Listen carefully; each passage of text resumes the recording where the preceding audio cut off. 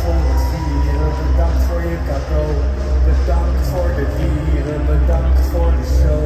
Bedankt voor het lekkers, bedankt voor de zon.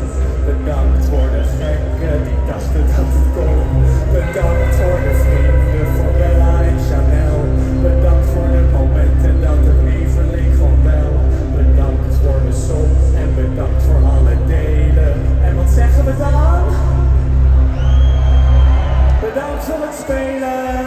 Paas komt voor het spelen. Tot de volgende keer.